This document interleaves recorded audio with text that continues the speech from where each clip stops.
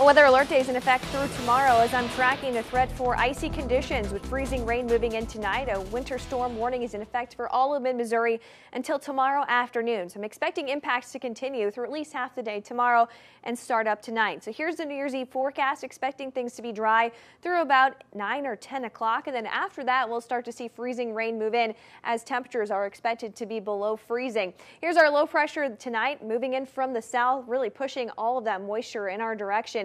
The track has shifted a little bit farther south and east, so that's why I'm expecting more of an impact across our area into tomorrow. Our future track here starting out at 11 o'clock, some of that precipitation impacting the Lake of the Ozarks. Most of this coming down as freezing rain overnight, and that's when we'll start to see those ice accumulations.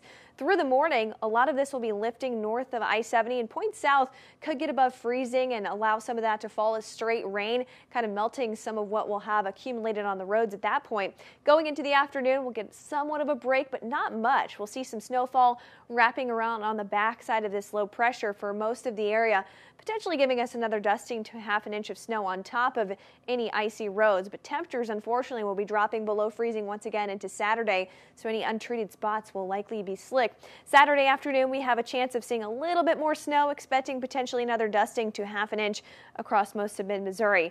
Our ice tracker tonight will start up likely after midnight. We'll start to see that accumulation.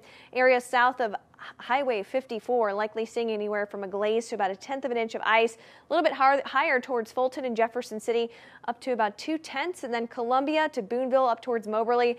Warsaw and Sedalia anywhere from around a quarter to three tenths, possibly seeing some areas up to a half an inch of ice, and that's where we could run into some of those problems as far as power outages go, as our winds will be picking up overnight. Here's the snow tracker, and this will go through Saturday, so I'm not expecting a lot. The higher snowfall totals with the storm system will be off to our northwest, so not expecting much there, but main concern will be that ice accumulation.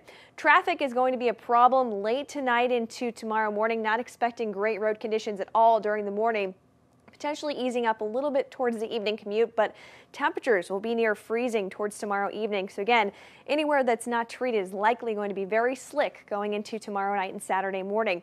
Our weather alert day will expire as precipitation moves out tomorrow evening. We'll have that chance for a little bit more snowfall on Saturday, but not much more than about a half an inch is expected. Going into Sunday and Monday, temperatures will be on the upswing. We'll start warming back up into the 40s to almost 50 by the middle of next week.